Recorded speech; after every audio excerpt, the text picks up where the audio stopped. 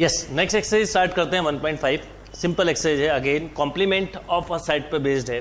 Complement of a set का means क्या है? समझें हम? सपोज़ एक ये यू यूनिवर्सल सेट है. और ये ए है. This is universal set and this is A तो सिंपल डेफिनेशन है. Let U be the universal set and A a subset of universal set then the complement of a is the set of all element of universal set which are not the element of a means and denoted by a dash. Suppose universal set है. One two three four five A एक subset है जो even number है two four तो complement of A होगा. A logically हम ऐसा बोल सकते हैं universal set minus A equal to complement of A right और दूसरा A plus A complement equal to universal set या A union A complement equal to universal set.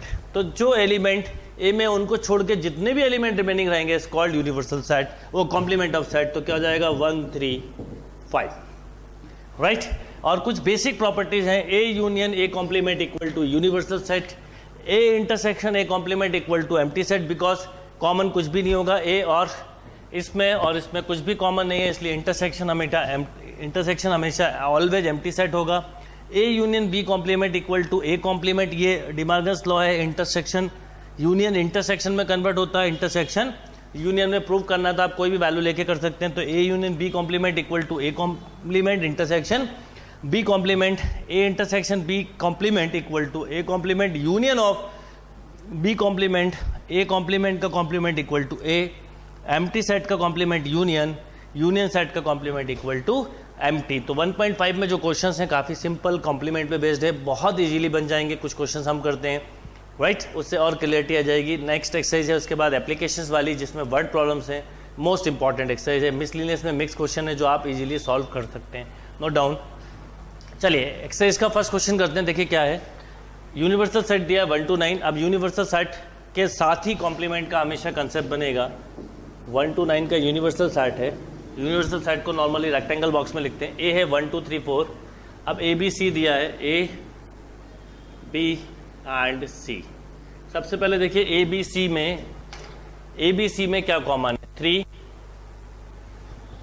Three यहाँ पर भी है, पर यहाँ नहीं है। फोर फोर फोर यानी फोर सबसे कॉमन है, यहाँ लिखा जाएगा। ये ए है, ये बी है, ये सी है। अब ए और बी में क्या कॉमन है? वन टू टू और कॉमन है तो टू यहाँ आ गया। अब वन टू के बाद मिलता है three and one one three, one two three four. यहाँ पर है टू, फोर, सिक्स सिक्स यहाँ पर भी तो सिक्स यहाँ लिख दीजिए, एट। अब सी में क्या क्या है? देखिए, सी में कॉमन है फोर, सिक्स, थ्री, यहाँ का कॉमन है तो थ्री मुझे यहाँ लिखना चाहिए था, राइट? और रिमेनिंग रह गया फाइव रिमेनिंग रह गया फाइव अब ये ए बी सी हो गया तो one two three four five six seven और नाइन नहीं है तो सेवन और नाइन यहाँ कहीं होंगे। राइट सेवन और नाइन यहाँ कहीं पे भी होंगे। अब हमसे जैसे क्वेश्चन नंबर वन बोला है, सबसे पहले तो क्वेश्चन ये बिना वेन डायग्राम के भी कर सकते थे ए कॉम्प्लीमेंट तो ए में क्या है? वन टू थ्री फोर तो वन टू थ्री फोर के अलावा जो होगा, वो ए कॉम्प्लीमेंट होगा। Five six seven eight nine B complement means जो एलिमेंट बी में उसको छोड़ के टू फोर सिक्स एट तो one three five seven nine A union C complement तो पहले तो ए यूनियन सी निकाला जाए तो ए यूनियन सी अगर हम देखें तो ए यूनियन सी इन दोनों में देखें तो one two three four five and six इसका फिर कॉम्प्लीमेंट पूछा है, इसका फिर कॉम्प्लीमेंट पूछा है तो one two three four five six के बाद होता है सेवन एट नाइन और इसका कॉम्प्लीमेंट एक तरीका और था बताने का, चाहे तो हम डी मार्गन ज़रा लगाते तो A complement intersection C complement से भी निकाल सकते थे। राइट तो अगर हम देखें, ये केवल एक प्रॉपर्टी प्रूव करने के लिए भी जाएगी। सी का कॉम्प्लीमेंट क्या होगा? थ्री फोर फाइव सिक्स के बाद जो मिले थ्री फोर फाइव सिक्स के बाद होगा one two seven eight nine अब A A complement intersection C complement अगर मैं देखूँ तो देखिए इन दोनों में कॉमन क्या होगा? Seven eight nine seven eight nine common है तो five seven eight nine seven eight nine common है तो यही हो गया सेवन एट नाइन देखिए प्रूफ भी हो गया। कभी भी सेट का कोई भी प्रॉपर्टी प्रूफ करना या फॉर्मूला भूल जाओ तो आप इस तरह की कोई न्यूमेरिकल वैल्यू से कोई भी कंसिडर करके बहुत जल्दी फॉर्मूले को वेरीफाई कर सकते हो। अब ए का कॉम्प्लीमेंट ऑब्वियसली ए ही होगा। एंड बी माइनस सी तो पहले बी माइनस सी क्या है? बी माइनस सी मतलब जो बी में हो पर सी में ना हो तो बी और सी में अगर हम देखें तो कॉमन क्या सब्ट्रैक्ट होगा। केवल फोर कैंसिल होगा। Right right? तो टू सिक्स एट सिक्स भी होगा। तो टू केवल टू कॉमा एट और अब इसका कॉम्प्लीमेंट बोला है तो आप सिंपली बी माइनस सी का कॉम्प्लीमेंट अगर बोलें तो टू एट को छोड़ दो तो one three four five six seven nine like this right note down this question yes question number second देखते हैं. सारे क्वेश्चन कॉम्प्लीमेंट पे बेस्ड हैं और बहुत ही सिंपल क्वेश्चन है. इजीली बनने वाले क्वेश्चन है. और इसीलिए मैंने आपको बोला था सेट रिलेशन फ़ंक्शन का आप डिटेल कॉम्पिटेटिव पोर्शन पढ़ना एनसीईआरटी e तो आपको देखते ही सॉल्व होने लगेगी. अब यहाँ पर यूनिवर्सल सेट दिया है ए टू एच तक. अब इनके कॉम्प्लीमेंट बोले हैं तो सिंपल ए डैश क्या हो जाएगा? देखिए ए बी सी को छोड़ देंगे.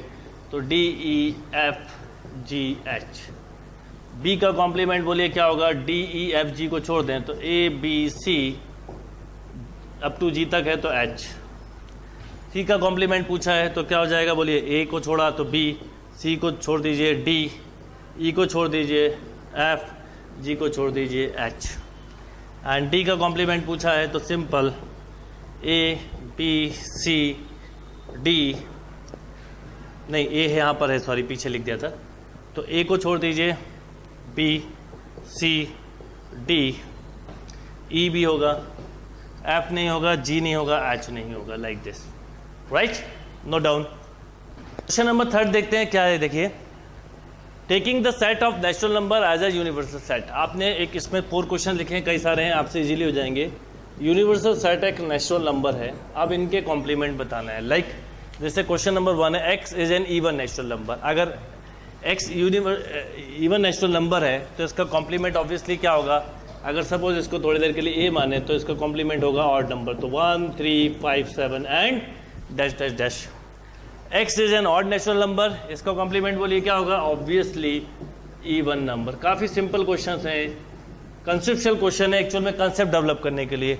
X is a positive multiple of three तो पॉजिटिव मल्टीपल ऑफ़ थ्री तो क्या हो जाएगा? One two four five six नहीं होगा. Seven eight and so on right x is a prime number तो प्राइम नंबर तो इसके प्राइम नंबर्स को छोड़ दीजिए. तो one two prime three prime four five prime होता है. सिक्स सेवन नहीं एट नाइन टेन इलेवन नहीं होगा. Twelve and so on right इस तरह से आपको रिमेनिंग क्वेश्चन आप बहुत इजीली सॉल्व कर सकते हैं.